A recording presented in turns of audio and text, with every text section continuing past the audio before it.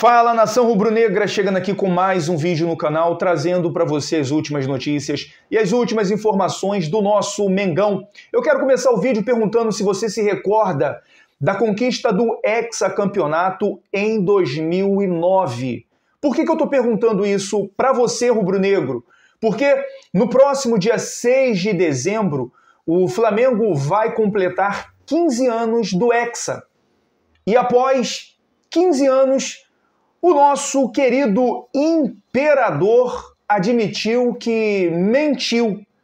Naquela época, o jogador nos jogos finais, nos últimos jogos, aliás, no penúltimo jogo, ele acabou se acidentando, queimando o calcanhar e acabou desfalcando o Flamengo contra o Corinthians, aquele jogo decisivo, e o Flamengo acabou vencendo a partida contra o Corinthians, o que garantiu na última rodada, após a conquista dos mais de, de três pontos, a conquista do título.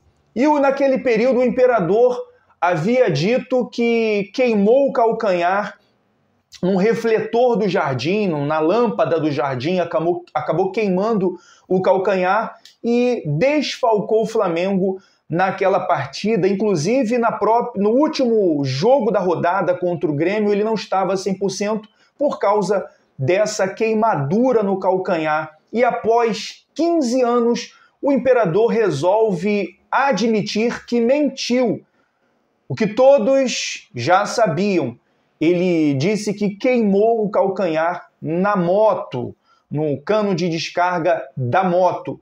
E ele veio, após 15 anos, admitir que mentiu para todo mundo. Agora, o imperador, com todo respeito, respeito máximo. Você marcou a história do Flamengo, você já está na história, é ídolo máximo no Flamengo. Agora, você admitiu que todo mundo já sabia, né, imperador? Você acha que você conseguiu enganar a nação?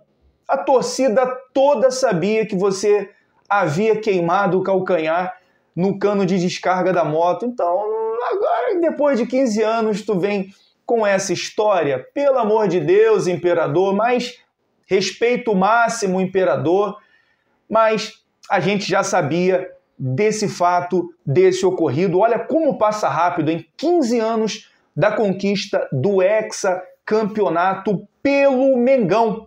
Fala agora outro assunto, outra informação. A seleção brasileira venceu de virada a seleção do Chile na noite de ontem por 2 a 1 com gols do Igor Jesus e do Luiz Henrique, ambos do Botafogo. Gerson, o Coringa rubro-negro, ele entrou no início do segundo tempo e o zagueiro Fabrício Bruno não saiu do banco de reservas. O técnico Dorival Júnior optou por não utilizar o zagueiro xerife do Mengão. Agora, Fabrício Bruno está no banco do Flamengo e também banco na seleção. acredito que na próxima partida o Fabrício Bruno deva é, entrar em campo, deva ser utilizado pelo Dorival Júnior, mas no Flamengo não tem jeito, né? Ele está ficando no banco porque o Léo Ortiz, de fato, tem jogado muita bola e não tem como o jogador não ser titular nesse time do Flamengo. Agora, o preocupante essa minutagem do Gerson Coringa, porque isso pode comprometer nos jogos decisivos do Flamengo contra o Fluminense, o clássico do dia 17,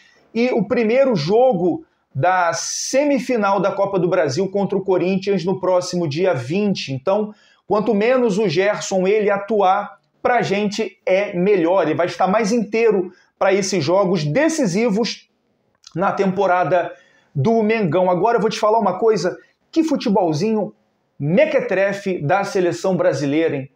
Que futebolzinho pobre. O Brasil não está jogando nada. Eu me recordo que quando a gente assistia os jogos da seleção brasileira, na, na, na, pelo menos na minha adolescência, particularmente, eu já sentava para assistir o jogo já imaginando que seria uma goleada, que o Flamengo ia golear, perdão, que a seleção brasileira ia golear, que era no mínimo 4 a 0, mas hoje em dia a seleção tem ido de mal a pior, isso não acontece mais. As vitórias, quando vem, quando vem, é de 1 a 0 2 a 1 aquele resultado chorado, aquele futebol, sabe, amarrado, aquele futebol sem criatividade. Infelizmente, essa é a seleção brasileira. Mas eu não estou aqui para falar da seleção brasileira, né? Só mencionei essa virada da seleção brasileira porque estamos de olho nos jogadores do Mengão que estão é, é foram convocados pelo técnico Dorival Júnior. E hoje o Uruguai entra em campo. Vamos ficar de olho porque tem a Rascaeta, tem o De La Cruz e o Varela. Quanto menos esses jogadores eles jogarem, para o Mengão é melhor. Eu penso no Flamengo, não estou preocupado com a seleção brasileira, nem tampouco com a seleção uruguaia. Eu quero que eles voltem, retornem para o Flamengo inteiro, é, na sua condição, na sua melhor condição, pode-se assim dizer, para atuarem pelo Mengão. Esse é o nosso pensamento, esse é o nosso objetivo com relação aos jogadores que foram convocados para a seleção, tanto do Brasil quanto do Uruguai. E agora falando sobre os jogadores lesionados do Mengão, porque o técnico Felipe Luiz ele tem dado continuidade aos treinamentos e preparação para o próximo confronto do Flamengo contra o Fluminense, o Fla-Flu, no próximo dia 17. Então, o técnico Felipe Luiz tem treinado os jogadores que não foram convocados e aqueles que não estão lesionados, obviamente. E a informação que chega do GE, a jornalista Letícia Marques trouxe a informação de que Pedro e Vinha dão novos passos em tratamento no Flamengo de olho, visando a temporada de 2025. O atacante ele faz atividade na piscina e o lateral ele dá os primeiros passos na academia. Pedro reconstruiu o ligamento cruzado anterior do joelho esquerdo e apenas há 10 dias retornou às atividades no ninho do urubu.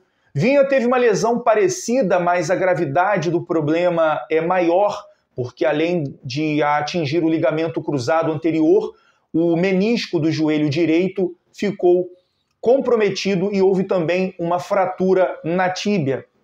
Então a informação que chega é que esses dois jogadores importantíssimos para o Flamengo, principalmente o Pedro, eles estão avançando na sua recuperação para retornarem aos gramados na próxima temporada. Há 10 dias o Pedro retornou e já está fazendo lá algumas atividades na fisioterapia do clube e assim é muito importante é, é, esse retorno do Pedro para que ele venha ter aquele contato ali próximo ao Felipe Luiz e consiga já trocar algumas figurinhas com o técnico, até porque o jogador vinha fazendo seus treinamentos leves na sua casa e há 10 dias ele retornou ao Ninho do Urubu e já está em preparação, recuperação para a próxima temporada. O uruguaio vinha também está se recuperando, já deu os primeiros passos ali no CT. É muito importante esse processo de recuperação desses jogadores que serão importantíssimos para a próxima temporada. Vamos torcer, vamos orar, pedir para o Papai do Céu proteger esses jogadores, porque 2024 está se encerrando, mas foi uma temporada marcada por muitas lesões. Isso é péssimo, isso é ruim, isso comprometeu muito a temporada do Flamengo. Essas foram as principais informações. Eu fico por aqui e volto a qualquer momento trazendo mais notícias e mais informações do clube mais querido e mais amado do Brasil e do mundo, o Clube de Regatas do Flamengo. Por favor, não saia do vídeo sem se inscrever, sem deixar o seu like, é muito importante. Ativa também o sininho das notificações para todas as vezes que nós publicarmos um vídeo, você vem estar sendo notificado, porque aqui você fica muito bem informado. Um forte abraço e saudações rubro-negras.